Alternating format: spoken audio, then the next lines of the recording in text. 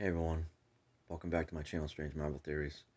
And uh, tonight, I wanted to elaborate on a video that I did or that I posted earlier on the subject of uh, the Marvel series WandaVision, and I wanted to make some ed edits, basically, on what I had said earlier. Now, um, what what I think is going on in the WandaVision series is this.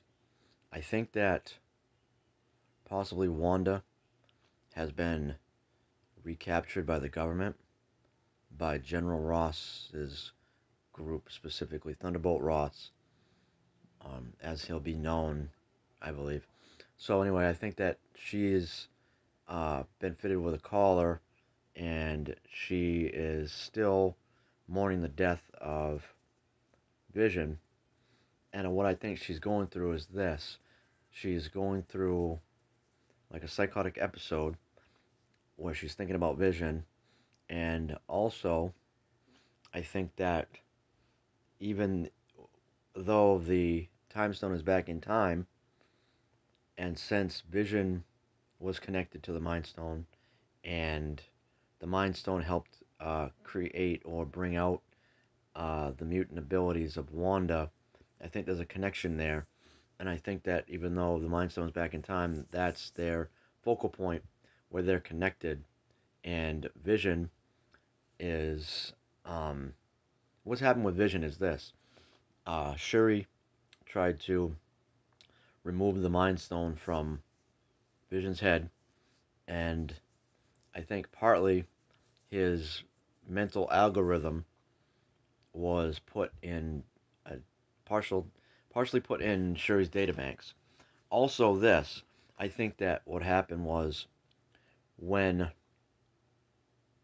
Vision was being attacked by Thanos and Thanos was ripping the Mind Stone out of Vision's head, I think that Vision was placing his consciousness within the uh, Mind Stone before and after when um, when Thanos had uh, resurrected him after um, after Wanda had killed him initially after she, she destroyed the Mind Stone.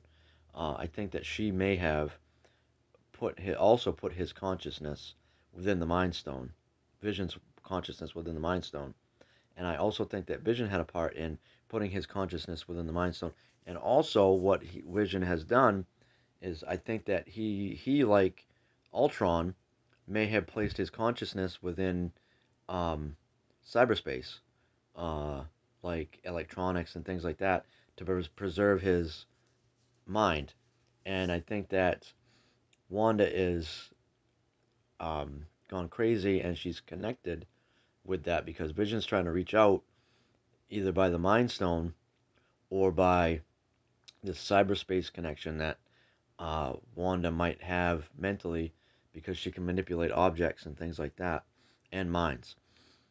Um, so, long story short, Vision's mind might be trying to connect out of body with Wanda through technology, and that's why you see all these different programs and television shows and things like that because there's junk that's in the way in cyberspace of Vision trying to get the message out, and plus, Vision might be also trying to be under the radar because people um, that are enemies can find him on, uh, you know, in the cyberspace world or whatever.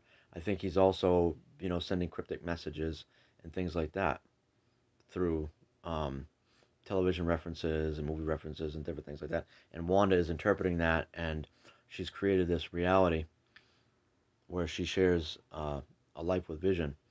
Anyway, that's my quick theory. I don't know if that's right. It might be right. I don't know.